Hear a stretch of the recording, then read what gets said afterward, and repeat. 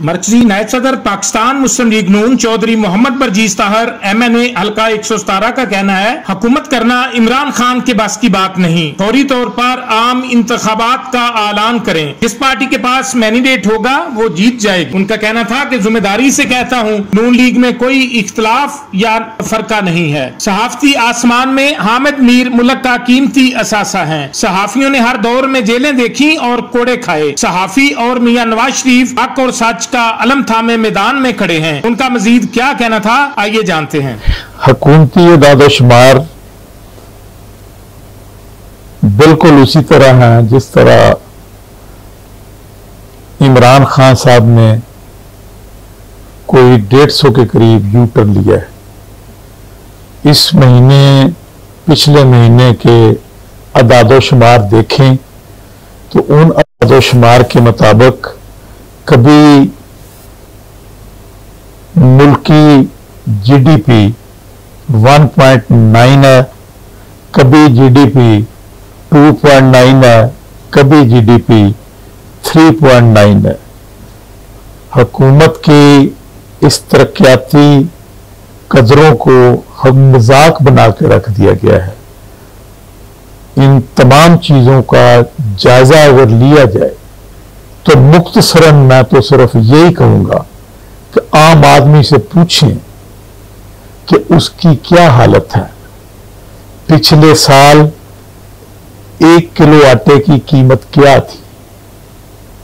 पिछले साल एक किलो चीनी की कीमत क्या थी? पिछले साल वो जो बिजली इस्तेमाल करता था, यूनिट की क्या कीमत थी? पिछले साल जो तेल इस्तेमाल करता था, उसकी कीमत क्या थी?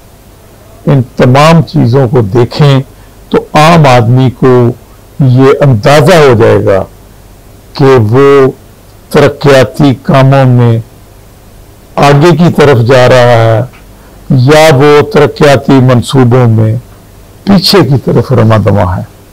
हकूमती बजट हमेशा हुकूमत की पॉलिसियों का आईनादार होता है। हुकूमत ने सारा साल जो काम किया होता है, या जो उन्होंने अगले साल करना है बजट के अंदर उनकी तजावीज़ और बजट के अंदर माजी की उनकी कारकर्दगी जो है, उसको कौम के सामने पेश किया जाता है। लेकिन बदकिस्मती की बात यह है कि कौम को इन्होंने पंजाबी में जिसको कहते हैं, खिद्दू की तरह इन्होंने उसको ठुड्डे मार मार कर कौम की हालत जो है उसको बिगाड़ के रख दिया गया है। आज दुनिया के जो मुआशी अदारे हैं, उनसे पूछें कि पाकिस्तान की मुआशी सूरत क्या है। सिर्फ़ पाकिस्तान की करेंसी का अगर अंदाज़ा लगा लें, सिर्फ़ एशिया के अंदर अगर आप देखें तो अफ़गानिस्तान जो हम सबसे बहुत पसमानदा मुल्क समझा जाता था। आज अगर आपने सौ रुपया अफगानी खरीदना हो तो आपको एक सौ बानवे रुपये पाकिस्तानी अदा करना पड़ेंगे। आपने अगर सौ बांग्लादेशी टका खरीदना हो तो आपको एक सौ इक्यासी बांग्लादेश पाकिस्तानी रुपया जो है वो अदा करना पड़ेगा। अगर हिंदुस्तान का आपने सौ रुपया खरीदना हो तो आपको पाकिस्तानी 203 रुपए जो है, वो अदा करना पड़ेंगे। अगर आपने नेपाल का सौ रुपया खरीदना हो तो आपको पाकिस्तानी डेढ़ सौ रुपया जो है, वो अदा करना पड़ेगा। कहाँ की ये तरक्की, कहाँ का ये काम? और ये तमाम ममालक जिनकी मैं बात कर रहा हूँ, ये भी कोरोना के साथ वाबस्ता है और इन्होंने कोरोना से अपनी मीशत को बाहर निकाला है। तो मैं समझता हूँ कि अब पाकिस्तान के जो लोग हैं, उनकी जो मुलाजमत पेशा है, उनकी तनख्वाहों को सामने रख लें तो गुजश्ता कितनी देर से उनकी तनख्वाहों में इजाफा नहीं हुआ। लेकिन पाकिस्तान के अंदर आज के रेट देखें, एक माह पहले के रेट देखें, छह माह पहले के रेट देखें, मैं सिर्फ़ इसको इसी तरह ही सम अप करूँगा कि मुझे एक ग्रेड 18 का अफसर मिला और उसने मुझे कहा कि मैंने बिजली का बिल देखा है तो मैं, मेरे हवास जो हैं, मैं हवास बाख्ता हो गया हूँ। ये सोचकर कि ये मैं बिजली का बिल अदा करूँ, अपने बेटों की फीसें अदा करूँ, अपने घर के खाने का बंदोबस्त करूँ। ये जिस तरीके से मौजूदा हुकूमत ने अपने साथियों को नवाजना शुरू किया है। आपने देखा कि पहले जिन लोगों को आटे पे नवाजा गया 600 अरब की करप्शन उन्होंने की। जिन लोगों को चीनी पे नवाजा गया 300 अरब रुपए की करप्शन उन्होंने की। जिन लोगों को अद्वियात पे नवाजा गया 400 अरब रुपए की उनको करप्शन की। और वो तमाम लोग जो हैं, उनको फैसिलिटेट किया गया आज भी वो हुकूमती उहदों पे फायज हैं और इमरान साहब कहते हैं, मैंने कमीशन बना दिया है। और वो कमीशन के बाद आज तक एक आदमी भी गिरफ़्तार नहीं हुआ। एक आदमी को गिरफ़्तार करने के लिए पूरे मुल्क के सिस्टम का इन्होंने मज़ाक बना दिया है। जिस तरह जहांगीर तरीन को पहले अपनी एटीएम बना के रखा हुआ था, अब जहांगीर तरीन ने जिस तरह इनके चेहरे से नकाब उठाया है कि इनकी हकीकत क्या है और उसकी अपनी हकीकत क्या है। गरीब आदमी पाकिस्तान का महँगाई की चक्की में पिस के रह गया है। यही वो बजट है जो अभी 11 तारीख को ये कौमी असम्बली में पेश करेंगे। मैं समझता हूँ कि अगर इनके पास वसाइल हैं, अगर इनके पास दौलत में इजाफा हुआ है तो फिर ये लोगों को फैसिलिटेट करेंगे लोगों को सहूलत देंगे, चीज़ों को सस्ता करेंगे, बिजली के रेट सस्ते करेंगे। आटे, आटा जो मेरा काश्तकार अठारह सौ रुपये मन गंदम फरोख्त करता है आज उसको मार्केट में अठारह सौ रुपये मन गंदम नहीं मिलती, वो दो हज़ार इक्कीस सौ रुपये में गंदम मुश्किल से जाके खरीदता है। ये हुकूमत की जो अदाद शुमार हैं, बिल्कुल उसी तरह मज़ाक बने हुए हैं। जिस तरह इस हुकूमत के दौर में चार मरतबा वज़ीर खजाना को तब्दील किया गया है, लेकिन अभी तक यही कहानी सुनते हैं कि मैंने इस वज़ीर खजाना को महँगाई की वजह से तब्दील किया है।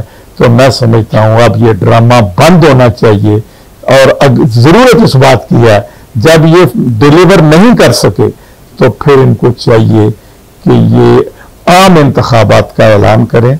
और आम इंतबात में जिस पार्टी के पास मैंडेट होगा और जिन लोगों ने इन्हें ला के मसलत किया है, उनको भी चूँकि अंदाज़ा हो चुका है, इसलिए मैं समझता हूँ कि अब ज़्यादा वक्त लोग इंतज़ार नहीं कर सकते, क्योंकि अगर हुकूमत यही इंतज़ार करती है कि लोग सड़कों पे आए और मुल्क के अंदर अनारकी फैले और सड़कों के पे आने के बाद इस मुल्क का स्ट्रक्चर खराब हो तो ये समझता हूँ मैं, इससे अदारे भी तबाह होंगे, इससे मुल्क की मीशत भी खराब होगी मैं मैंने वही बात पहले की है कि अगर इनके पास, इनकी आमदनी में हुकूमत के जो वसाइल हैं, उनमें इजाफा हो गया है तो फिर आम आदमी की हालत जो है वो बेहतर होनी चाहिए। और अगर आम आदमी की हालत दिन ब दिन दिन ब दिन मजीद बिगड़ती जा रही है तो फिर मैं समझता हूँ इनके दावे जो हैं वो सारे कागज़ी हेर फेर है, कागजों की जमा तफरीक है, और इस जमा तफरीक से लोग तंग आए हुए हैं। लोग अमली तौर पे कोई महँगाई का सदे बाप चाहते हैं। बिजली अगर एक तरफ़ आप कीमत बढ़ाते हैं, दूसरी तरफ़ लोगों पे लोड शेडिंग का बम गिरा देते हैं। बावजूद इसके कि आप कोई लोगों को ये बताएँ कि हमने ये काम किया है, और फिर अल्लाह ताला माफ़ करे, झूठ इतना नहीं बोलना चाहिए। और जब से ये हुकूमत आई है, इन्होंने चौदह हज़ार अरब रुपया कर्जा जो है, ये ले चुके हैं और जिन अदादो शुमार की, टैक्सेस की, इकट्ठे करने की रेवेन्यू की, एफबीआर की बात करते हैं, इतना रेवेन्यू तो मुस्लिम लीग की हुकूमत ने माजी में, आखिरी साल में वो इकट्ठा किया था और इनका तो दावा था कि ये आठ हज़ार अरब रुपया अभी ये रेवेन्यू इकट्ठा करेंगे। और फिर इमरान साहब कहते थे कि जहाँ पे रेवेन्यू लोग नहीं देते, उस मुल्क के हुक्मरान चोर होते हैं। इमरान साहब, आपने तो आठ हज़ार अरब का कहा था। आठ हज़ार अरब तो दूर की बात, अभी तो चार का फिगर इस साल आपने उसको टच किया है। इससे पहले तो तीन के फिगर के साथ आप चलते रहे हैं। आगे आगे देखिए होता है। समझता हूँ कि इस हुकूमत से के जो इन्होंने अभी तक जो इनके कारनामे हैं, जो इन्होंने कौम के सामने झूठ बोला है, उसको सामने रखते हुए मैं किसी किस्म की तो इस हुकूमत से नहीं रखता, क्योंकि माजी में भी इन्होंने जो ऐलान किया है, माजी में भी जो इन्होंने बातें की हैं, कौम से वादे किए हैं और इन्होंने, मैंने पिछले दिनों असेंबली में भी यह बात कही थी, एक सवाल के सवाल के, मेरा एक असेंबली से सवाल था कि आपने तो एक करोड़ नौकरी देना थी लोगों को, आपने तो पचास लाख घर देना थे। अब अगर वर्कर फाउंडेशन के जो वर्कर वेलफेयर के जो घर बने हुए हैं, आप उनको भी अपने खाते में डालने की कोशिश कर रहे हैं।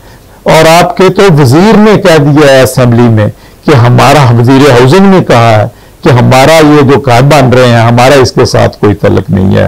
ये कल को जब पंडोरा बॉक्स खुल, खुलेगा तो पता चलेगा कि ये क्या इन्होंने कौम के साथ झूठ बोला था। कहाँ गई वो एक करोड़ नौकरी? अब तो इस साल के अंदर नौकरी देनी तो दूर की बात। इन तीन सालों में उस वक्त जितने लोग, ये मेरे मेरे फिगर नहीं है। ये जितने लोग उस वक्त रोट, रोटी जो है वो खा रहे थे आज वो खत गुर्बत की ज़िंदगी गुजार रहे हैं उससे भी नीचे गुजार रहे हैं क्योंकि दो करोड़ लोग जो हैं इन तीन सालों में खत गुर्बत पे यहाँ उसको टच कर चुके हैं। और आप हैरान हैं कि बांग्लादेश में इस वक्त फ़ी का सामदनी तीन हज़ार रुपये है। पाकिस्तान में फ़ी का सामदनी पंद्रह सौ रुपये पंद्रह सौ डॉलर है, उनकी तीन हज़ार डॉलर है। इस खत्े में चाहे वो नेपाल है, चाहे वो हिंदुस्तान है, चाहे वो श्रीलंका है, चाहे वो बांग्लादेश है, चाहे वो नेपाल, इन सब का म्यार ज़िंदगी इन तीन सालों में पाकिस्तान से बहुत आगे बढ़ चुका है। पाकिस्तान का म्यार ज़िंदगी फ़ी कस आमदनी भी बहुत कम हो चुकी है और लोगों को दिन दिन दिहाड़े यूँ समझें कि महँगाई की चक्की में पीसा जा रहा है।